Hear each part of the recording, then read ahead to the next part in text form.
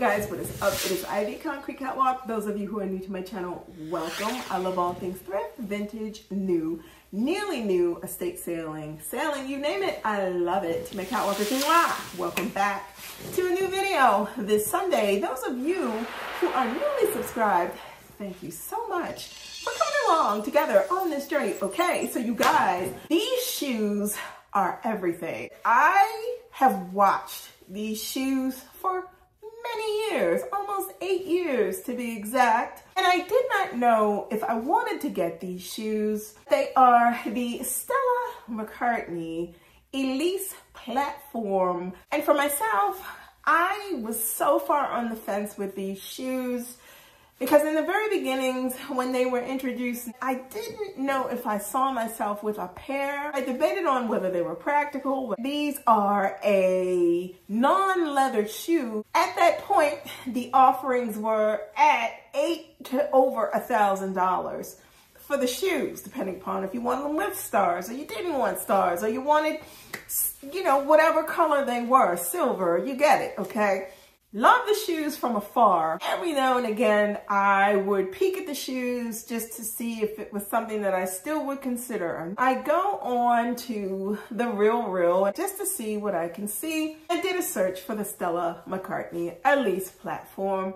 These shoes popped up as fair condition and I'm going to show you those shoes. This is the large dust bag that the shoes came in. And what I'm going to do is simultaneously, I'm going to do a side-by-side -side or post up over here so you can see snippets of me walking around in the shoes so you get an idea of what they look like on the foot. Here we go. So this is what I ended up getting. The Stella McCartney Black Platform Elyse and I grabbed these off of the Real Real. They were on sale marked all the way down to, and you will fall out when you hear me say this, but these were marked all the way down to $69. I looked at the condition and as you can see, there's a little wear up here on the toe. There is discoloration around the wood part of the shoe and also on the base of the shoe because it looked like it looked like somebody walked through paint in these but I'm kind of obsessed and I kind of like it. But what I like about these and I am just gonna be way up front because I have tried these on I just wanted to show you guys what these look like you know by way of how they came. Let's get real about these these are quite comfortable when you put them on and you work yourself into them. And I'm gonna pull out the other shoes so you can see these together. I picked these up in a size eight because I was reading about these and how these fit and the comfort level with these. Some people were saying, oh, you should size up. Oh, you should go a whole size down. Oh, you should maybe go up a size because of this, this, and this. I opted to stay at a size 8 because I fluctuate between, depending upon the cut of the shoe, 6 if it's a youth shoe, to 7, 7.5, 8, all the way up to an 8.5, depending upon cut and material. So because these are not leather, I opted to stay at my shoe size, which was 7.5, but up to a size 8 just in case. My God, you guys, I am so glad that I decided to get these in an eight because the initial thing that I realized when I tried these on is these are cut and narrow. I'm to be very frank with you. If you have a medium foot or if you have a foot that is wide, Medium foot people, you'll be fine because you've got to walk these in in order for these to mold to your foot. I am medium width. If you have a wide foot, these are not going to work for you. These are very straightforward. Put your foot in the shoe and you immediately feel how, and I'm just to use the word, you immediately feel how tight they are. And as you begin to wear them, they do break in. Now, the crazy part is these were pre-owned, pre-loved, but my feet, when I put my foot into these shoes, my feet were asking questions. They're like, what is going on here? What is this like? So it took me a day to acclimate to these shoes. I wore them all day. And at the end of the day, my feet were fine. They molded to the form of the shoe.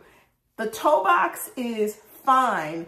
It's just the part in here, this part, the higher up part, like right before you get to the shoelaces, that's where the adjusting had to take place. And I was worried because I was like, what are these gonna feel like? Are these gonna work? Are these not gonna work? And they actually work. So I'll say if you are considering this Stella McCartney platform shoe, you may want to go in store and try these on to get a grasp of what your true size is. Me, I took a gamble on these. I was like, well, let me just go with a size eight because at least it gives me some space to, to deal with and acquiesce. And I do have space in these, not crazy space, but just the right amount of space where my toes are fine. But at the end of it all, these are a narrow shoe. These are 38 and I am so glad that I picked these up in a 38, albeit a great price point, but it would have been a true waste of money if these did not fit. And I'm gonna put these down. I am glad that I waited to purchase these for an eight to nine hundred to a thousand dollar shoe over the course of time to depreciate down to $69 and real time today if you go onto the website whether it be Neiman Marcus or a Stella McCartney site or what have you these shoes still retail for over almost eight to a thousand dollars depending upon what you get on the shoe.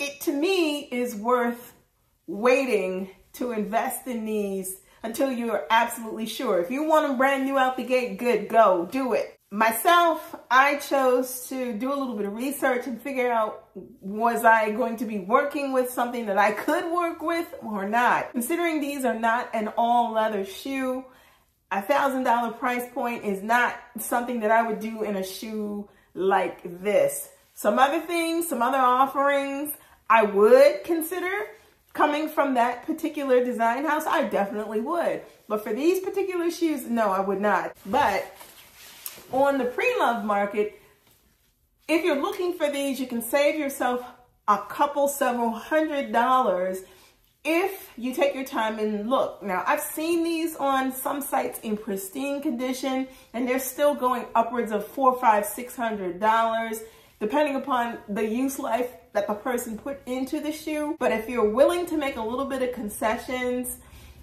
you can find these at price points that are really reasonable. So if you're looking for the Stella McCartney Elyses and you've been on the fence waffling with these, you may want to take a look at the pre-love market to see what you can come up with. There are a plethora of offerings at price points that do make sense.